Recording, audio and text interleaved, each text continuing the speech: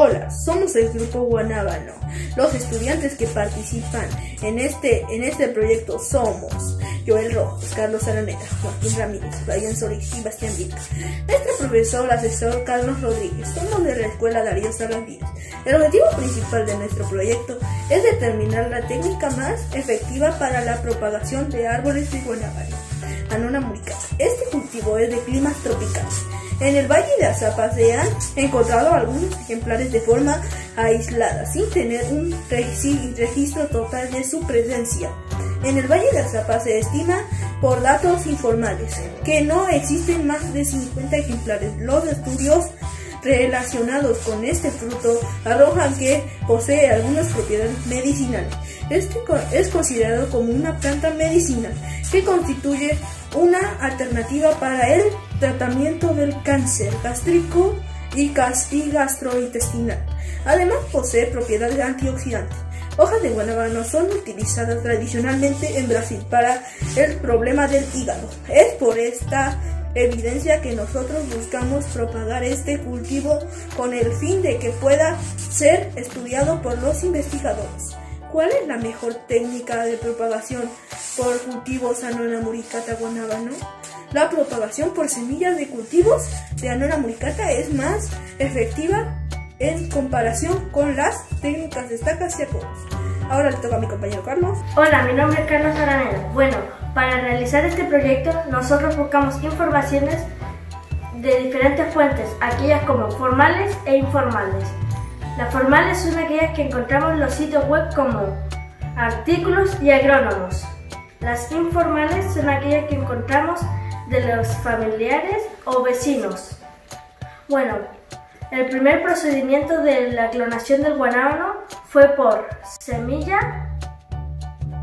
Lo primero que hicimos fue ir al árbol original que se encuentra en nuestra escuela. Primero sacamos los frutos los partimos y sacamos las semillas. En total hemos recolectado 100 semillas. En esas 100 semillas las dejamos en un vaso precipitado con agua destilada, dejándolo remojándolo durante 24 horas. De las 100 que quedaron, quitamos 40, ya que las que flotaban estaban malas.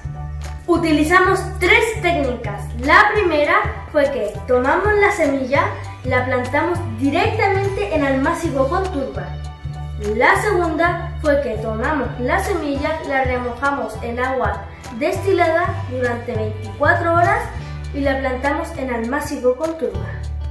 La tercera fue que tomamos la semilla, la remojamos en agua destilada durante 24 horas la lijamos su testa, la testa es la cáscara de la semilla. Eh, luego, de eso, plantamos las semillas en almácigo con turba. Esas fueron las tres técnicas de la semilla.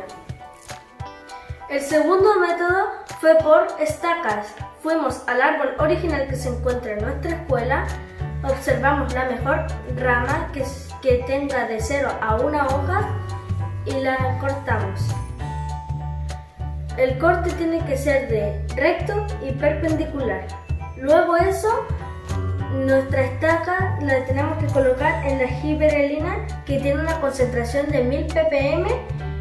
Luego eso, la estaca la plantamos en un almácigo con turba y la regamos dos veces por semana. La giberelina sirve para que la raíz crezca más rápido en una rama el tercer procedimiento fue por apodo. Nos acercamos a nuestro árbol, observamos la mejor rama y le cortamos la corteza de un tamaño de un pulgar de un adulto. Luego eso, con un pincel humedecimos la parte pelada con giberelina. Luego, después de eso, colocamos turba alrededor de la rama y después de la turba viene el papel aluminio que cubre la turba como un saco. Luego eso colocamos cinta a las orillas del aluminio para que afirme y que no se caiga en la turba ni el aluminio. Dejamos un edificio pequeño para que regamos nuestro acodo.